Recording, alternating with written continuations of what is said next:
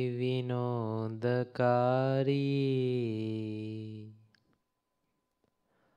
पलपन विसरे नहीं जो विसारी। जुगल चरण सोल चिन्ह जेह। नज़र समीपे रहो हमारी नज़र समीपे रहो हमारी घनश्याम महाराज निजे हरे कृष्ण महाराज निजे स्वामीनारायण भगवान निजे Supreme Almighty, our dear Ghanshyam Maharaj, the path maker to our liberation, our beloved Puja Guruji, Puja Santo, Puja Bhagatji, and all of you devotees, Jai Swaminarayan.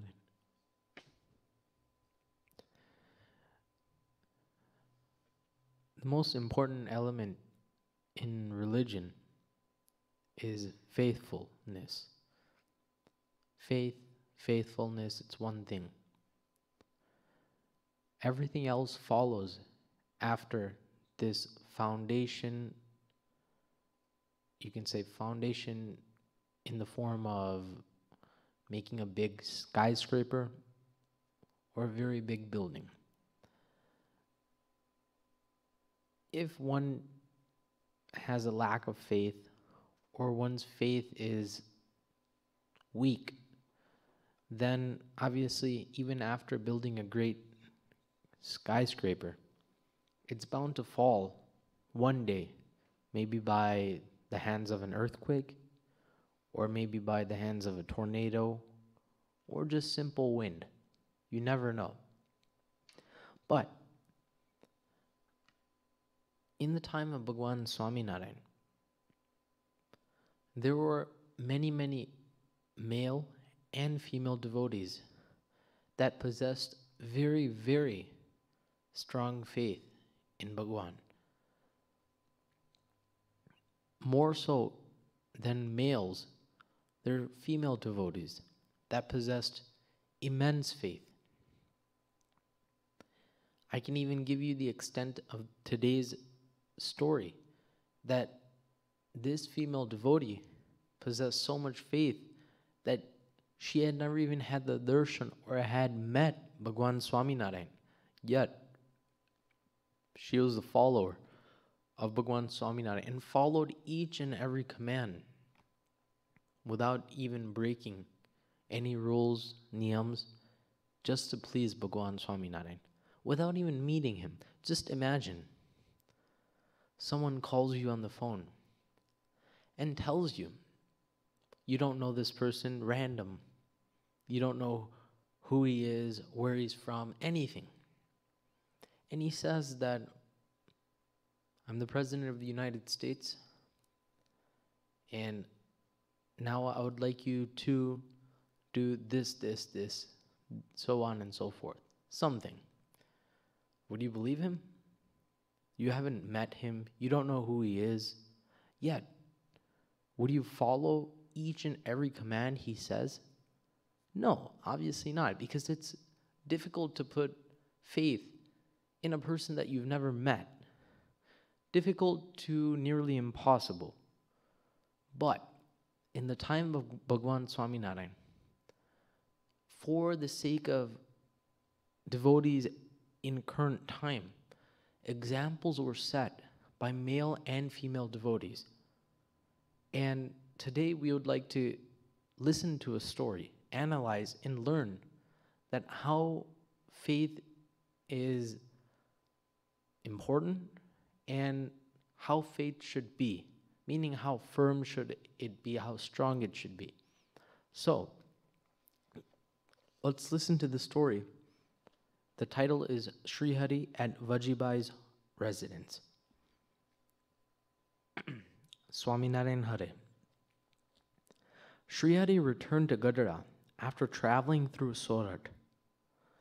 Srihari's travels had increased in distance and frequency to protect and support his devotees, many of, him, many of whom suffered physical torment from misinformed and ruthless rulers. Now, in that time, and we've heard before many times, Bhagwan Swaminarayan had many, many haters because at such a young age, when he took his, you can say, whole reign, the whole movement, the Swamran movement, at the age of 21 by the hands of Ramanand Swami, and he started to rule the whole Sampradaya. From the age of 21 to the age of 49, when he ascended back to his Dham, his Akshardham, for that time, Bhagwan did innumerable, countless miracles, you can say, countless different kinds of deeds, acts, changes, movements in society, changing all the bad, washing all the bad out, and bringing in all the good, making it green again. Due to that, due to that very sole purpose of changing the bad to the good. Not only that, but initiating over 2,000 saints, constructing six grand temples, writing his own code of commandments called the Shikshapatri,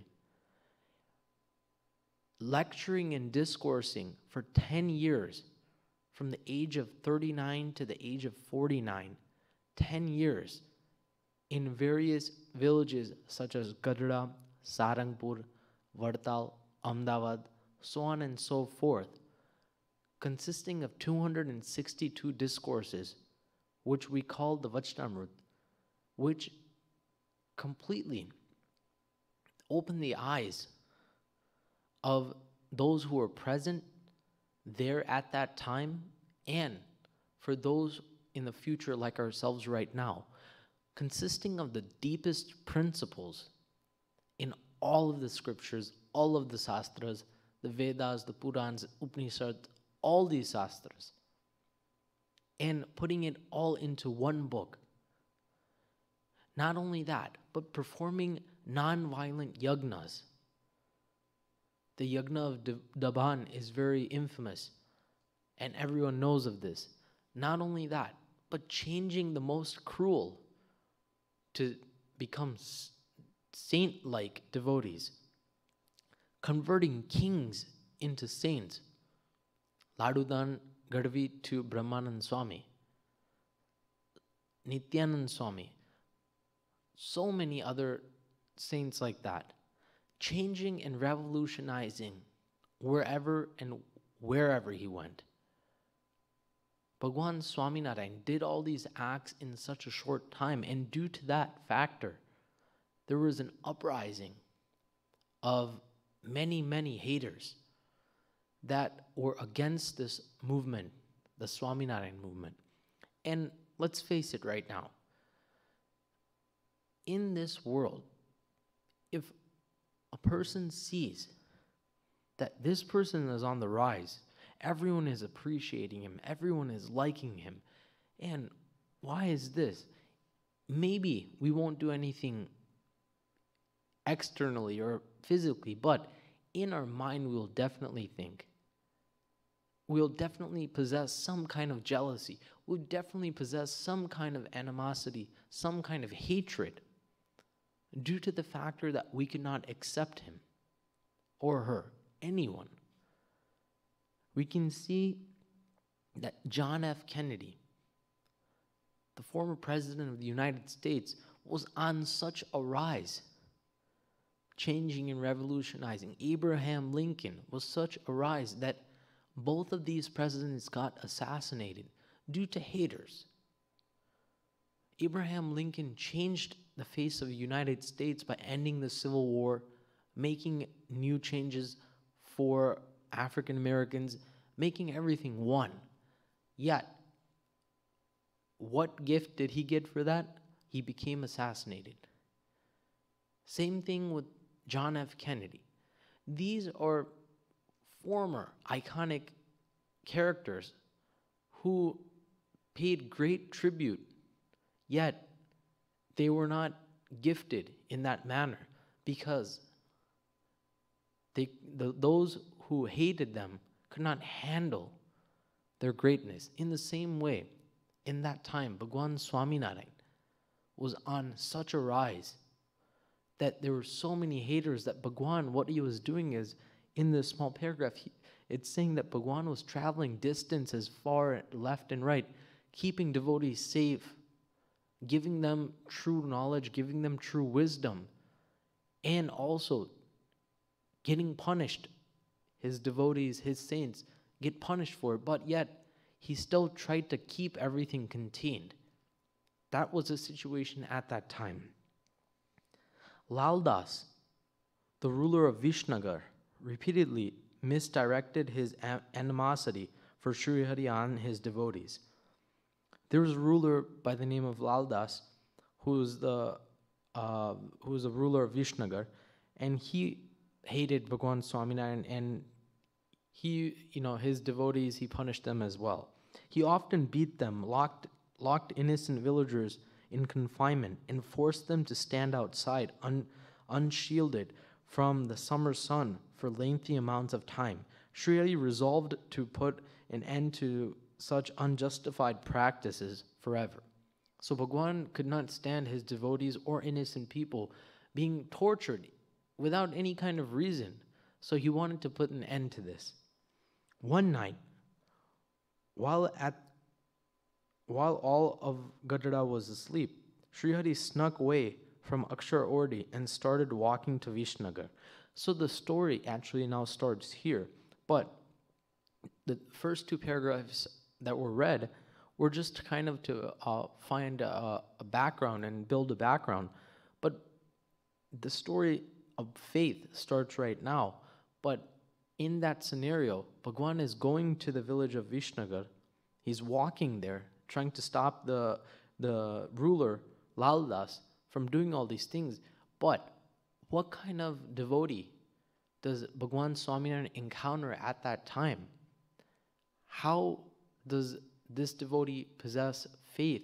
What kind of faith? How strong? That's what we want to analyze today. So Srihari snuck away from Akshar and started walking to Vishnagar. Though Srihari wanted to be alone, Mulji Brahmachari followed Srihari for a few kilometers. Srihari noticed that he was being forced and ordered Brahmachari to go back to Gadhada. I command you. So Bhagwan Swaminarayan at that time had a very, very dedicated, you can say, we cannot say, but just to put it into perspective for all of you, a servant that did everything and anything Bhagwan Swaminarayan asked.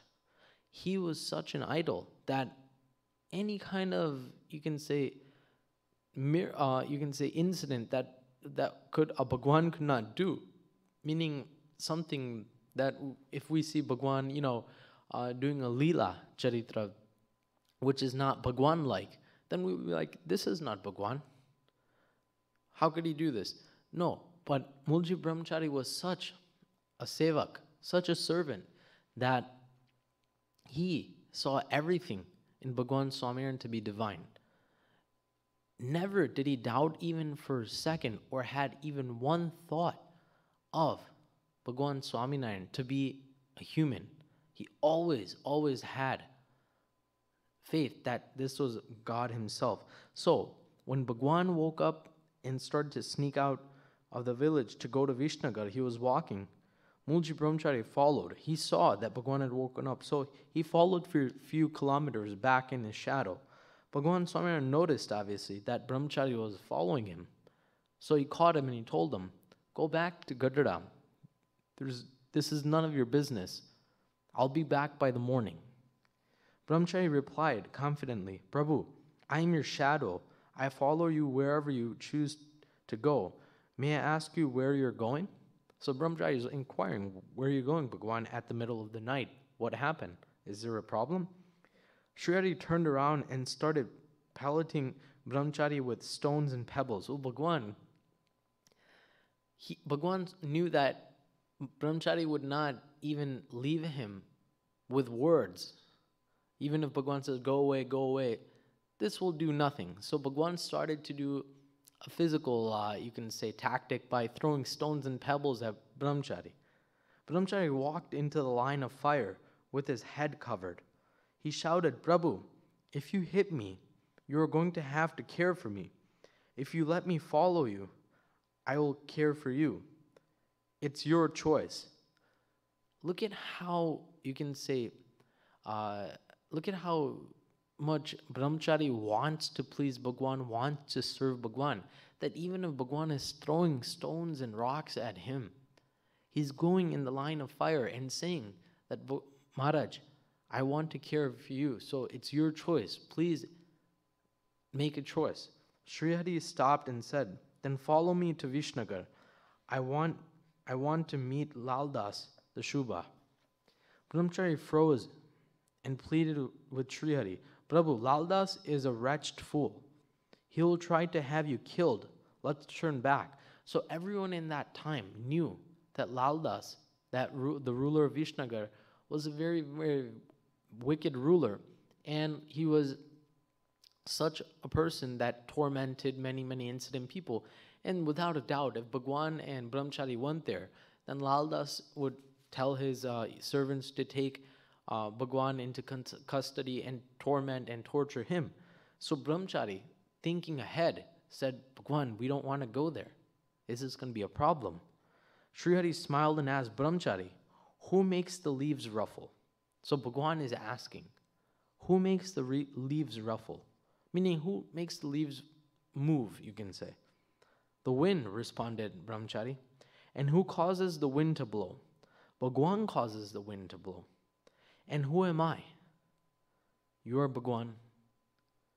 Mulji Brahmachari knew that it, this was Bhagwan himself, so it was easy for him. He said, You are Bhagwan.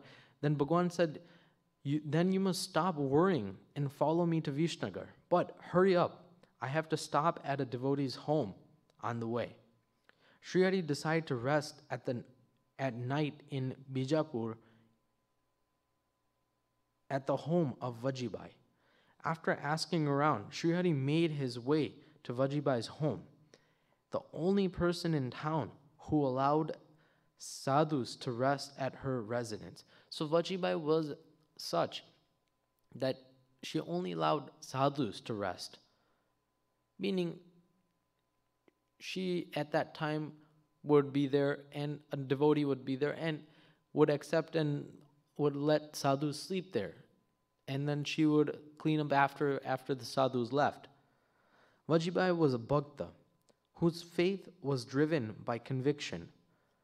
She had she had yet to have the Srihari's darshan, but her pativrata bhakti suppressed even Srihari's expectations. Pativrata bhakti, meaning faithful devotion towards Bhagwan Swaminarayan, was immense. She had not met Bhagwan Swaminarayan. Yet, in this charitra, it said that her bhakti, her affection, suppressed even Sri Hari's expectations. Now, just imagine in that time what kind of prabhav, meaning what kind of effect, what kind of, uh, you can say, vibrations Bhagwan Swaminarayan had, where even he was on the earth at that time. And there was many, many devotees that had not met him ever. Yet, without meeting him, they had already become devotees. By listening to Bhagwan Swaminarayan's incidences, what he had performed, and at that time it was more difficult because there was one side that was the whole movement and then on the other side, there was the negative, trying to destroy the whole Swaminarayan movement. Who to listen to, who to look after, who to follow. That was the difficult situation. In this time right now, we obviously there is no other kind of distractions. So by associating with sadhus and reading scriptures like the Vachnamrut, Satsangi Jivan, Swamini Vato, we can easily worship Bhagwan. But in that time, it was new. It was still building. It was still in construction. It was revolutionizing slowly but surely. But the negative force was still there trying to take down the movement because of haters of Bhagwan Swaminarayan. But Vajibai did not look at any side. Vajibai knew that I want to please Bhagwan Swaminarayan. So, I want to worship him with my pativrata bhakti, meaning my faithful de- devotion. Sri Hari called out to Vajibai from the outer gate of our courtyard. Now remember, Vajibai has never met Bhagwan Swaminarayan. Let's see what Bhagwan says. Mother, we need a place to spend the night. Vajibai immediately responded, Go away. I'm not allowing smokers into my home. This is what Vajibai said. Because there's many, many uh, trying to take, you know, a, a, place to sleep at that time. And strangers, obviously, Vajibai did not allow, only allowed sadhus. And Bhagwan was not dressed like a sadhu obviously. So then Vajibai expected that this is a, a smoker, this is a, a person who is a, a criminal, who's a, pretty much a robber, things like that. So, due to these suspicions, Vajibai said, I don't want to see you anymore, go away. My heart and home belong to Bhagwan Swaminarayan. This is what she responded. Sri Hari was pleased, but decided to push her a bit further, meaning Bhagwan knew that this was how she was going to respond, and it was fantastic that he even said he knew that this was going to happen, yet, for the sake of us, Bhagwan remembered all of us in that time and said, I want to show my devotees in the future how faith should be. Due to that, Bhagwan pushed the button a little more. Mother, I will sleep out here in the courtyard on the floor. I will not be a nuisance. Vajibai eventually agreed. Sure, no drinking or smoking. If you do either of the two, I will throw you out in the middle of the night. Meaning, Vajibai had had compassion that this person is sleeping on the floor. It's very cold outside. You know, let me let him in, but let me give a couple of rules here. No smoking, no drinking, nothing like that. And you can come and sleep for this night and then leave. If you if you do either of the two, I will throw you out in the middle of the night. Brahmachari spread a, a sheet on the floor and requested Sri Hari to sit on it. After a few minutes, Sri Hari called out to Vajibai again, Mother, the floor is hard. May I have a cot? meaning Bhagwan Swaminarayan, he wanted to see how much he can push. So at first when Bhagwan came in with Mulji Brahmachari, Mulji Brahmachari took a sheet, a bed sheet, and put it on the floor and Bhagwan slept there. But then Bhagwan, obviously trying to push a couple buttons here and there, said, I'm very cold, I need a cot, meaning I need a, a bed, kind of like a, a wooden bed to sleep on. So, do you have one available? Vajibai was annoyed by their request. I do not have a spare cot. Sorry. Sri Hari instructed, Mother, do not lie. There's a new cot in the second room. Please give me it. Please give it to me for the sake of your Swaminarayan. Now, Bhagwan is using his powers to kind of waver Vajibai. Because Vajibai obviously knew that these are strangers. They have never been to my home before. This is the first time. But Bhagwan, being Bhagwan, what he did was he said, I know you have a cot. You're lying. So there's one in that second room. So why don't you give it to me in the name of Swaminarayan? Vajibai was flabbergasted, meaning she was just surprised, amazed. How did this person know about the cot? She dismissed it, it she dismissed it as a coincidence and gave him the cot and went back to sleep. Went back to sleep. A few minutes later, Srihari called out again, Mother, may I have a blanket?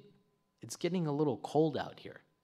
Now, again, Bhagwan is pushing a little further. Vajibai lied again, curious to see what response her lie would solicit. Babaji, go to sleep. I do not have a spare blanket. Srihari responded, Mother, you are lying again. The spare blanket is in the third room. There is a pile of them. I just want one. Please give it to me for the sake of your Swaminarayan. Again, Bhagwan, using his omniscient powers, trying to waver Vajibai's faith, not even seeing Bhagwan once, but letting a stranger in. And this stranger, using such kind of powers, you know, thinking and knowing where the whole, you can see where the cot is, where the blankets are. Maybe at that time, Vajibai would waver in her faith and maybe think that this is Bhagwan himself or this is another god, so I should believe in him. Bhagwan wanted to see and test her faith. Srihari responded, Mother, you are lying again. The spare blanket is in the third room. There's a pile of them. Vajibai could not sleep for the rest of the night. She wondered how this person knew about the presence of the cot and the blanket and why he referred Swaminarayan. Meaning, Bhagwan obviously knew that she was a, a very, very firm follower of him. But Bhagwan used two tactics. Number one, he used his omniscient powers, and number two, he mentioned Swaminarayan twice, thinking that maybe there would be a little bit of waver. Although she was curious, her faith in Srihari was resolute. The person could show her a hundred mir- miracles, but her faith was firmly fixed in Srihari. This is a true, you can say, sign of a, a person who has firm faith in Bhagwan. Our Puja Guruji many incidences where there have been others who he has met and shown miracles, whatnot, but he has never wavered his faith in any other deity or any other avatar, but only has kept firm faith in Hari Krishna Maharaj, Bhagwan Swaminarayan. And due to that, we can see that we can say that he is in this position where he is, and it's all due to faith. Faith is the key to attain Bhagwan. If one wants to meet Bhagwan, if one wants to greet Bhagwan, if one wants to become one with Bhagwan, then the ultimate, you can say, not tool, but the ultimate, you can say, element is to obtain firm faith install firm faith in oneself. And that can only be done by the association of an Ekantik Satpurush. If he gives you and guides you and gives you the right elements and you accept accept them and start to really really think in your heart about all these things then your life changes in that fashion but it can only happen by the association of such an Ekantik Satpurush who has such kind of faith in Bhagwan. An hour before dawn, Vajibai stood up to peer outside the window of her room. She noticed that Srihari's feet extended out of the cot and touched the peepal tree near the wall, which was several feet away from the cot. Now, this was the third and final, you can say, blow. Bhagwan showed his miracle through extending his feet, his feet from the cot, meaning from the bed, to the tree that was a couple of feet away. I mean, who can do this at that time? No one, or any time. And this was when Vajibai knew that this is not an ordinary person that I have let enter into my home with Mulji Brahmachari. She was speechless, but she prayed to Sri Hari for the strength to keep her Pativrata Bhakti firm. Yet, even after seeing such kind of miracle, she still prayed to keep her faithful bhakti, her affection towards Bhagwan Swaminarayan, firm. So even by seeing these things, she would not waver in faith. Sri left for Vishnagar in the morning, but he was deeply moved by Vajibai's faith. No amount of miracles could shake her conviction in, in him. Later on, Vajibai found out that Sri Hari was none other than Bhagwan Swaminarayan himself. Such a charitra in that time, giving us power, giving us a, a, a, perspective that how should our faith in Bhagwan be? Life is full of obstacles. There's many, many philosophers and many, many people who have written quotes on how life has ups and downs. But moreover, how to control and how to view and how to take about and go and approach those ups and downs is a very, very important factor. in the, the thing that keeps us steady, the, king, the thing that keeps us, the element that keeps us leveled is faith. Then, no matter how many ups and downs a person has. If one has faith in Bhagwan, then one will always stay equal in all situations.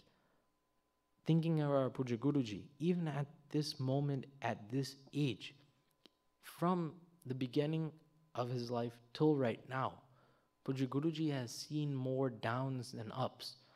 Many, many obstacles have came his way. Many, many people. And the reason I'm saying this is that not because Puja Guruji was doing something bad, but Puja Guruji was rising, is rising in society.